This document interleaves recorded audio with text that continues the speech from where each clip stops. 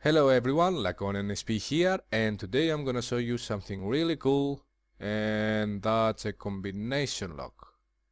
You see? Combination, one, two, three, four and I cannot get there. How? How can I get there? How? No. You have to know the combination for this. So my combination is this, that and this one and now I can get in and find nothing but I could have here diamonds. I'm in creative mode. I can have stacks of them. Anyway, now if you want to build this yourself, just follow me and you'll know in no time. Okay, let's start with four levers and then I'm gonna show you how to do it with five and then you'll be able to extend the number as much as you want. It's the same method. It's not something tricky. So here I have four levers. Yeah, don't hear what people say. They are four, not five. So what I want to do is take each couple, this one, I'm going to connect it into an AND gate. I'm going to count one, two, three, four. And I'm going to create an AND gate like that. By the way, if you have no idea what I'm talking about, I will really suggest to go and watch my tutorial about the basics, about the logic gates and you'll understand a lot. So now that I've connected this couple into an AND gate, I'm gonna do the exact same thing for the other couple. I'm gonna create one more here, like that.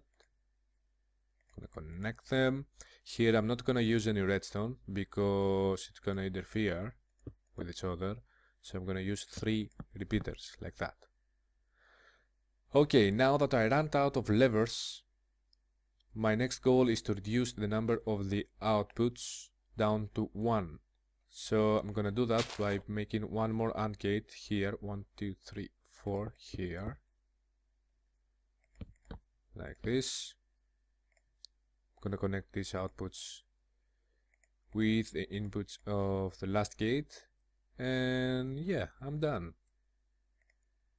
I'm gonna place here a double lampstone no lampstone, redstone lamp, sorry. So what an AND gate does is it gives you an output on only and only when you set all of its inputs on, just like that. So now we can decide the combination. Let's say it's gonna be on, off, on, off. Now what you need to do, if you haven't guessed already, you have to invert each off switch, each off lever. This is off, so I'm gonna go behind and make it a NAND and NOT gate, you invert it. This is off as well, so you invert this one. Now you see the output that it's on, and it's gonna be on only when I set the right combination. Like this. So that's the main method, that's the main tactic. All you have to do is to try to connect each couple into an AND gate, okay? And then when you run out of levers, you have to try to reduce the number of the outputs down to one, and you're good to go. And then you just have to decide the combination. You invert every switch that is off, and that's it. Let me show you though how you can do it with 5.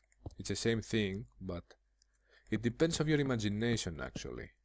Here I'm showing to you the methods, the, um, the way that's easier to remember actually. So here I have five levers. I'm gonna take the first couple, I'm gonna connect it into an AND gate, like that. No, you come here and you go there. Connect it like this. Now, because I have 5, I will not go to the next two, I'm gonna go to the this couple on the other side. And I'm gonna do the same thing. This way it's gonna look better on the end. Okay, I'm gonna do this, I'm gonna do that. Okay, now this one, this poor little lonely guy, we will pass the output through those gates with the use of repeaters. You know why? Because we don't want the redstone to interfere with each other. So uh, we're gonna do this. Okay, now I have three outputs actually and I want to reduce the number down to one. What I can do here and the most yeah the best thing we can do here is to make a double AND gate and you can do this like this. Two outputs. Connect them. And then we have two outputs. We have to reduce this number to 1 so I'm gonna make one more AND gate here. And that's pretty it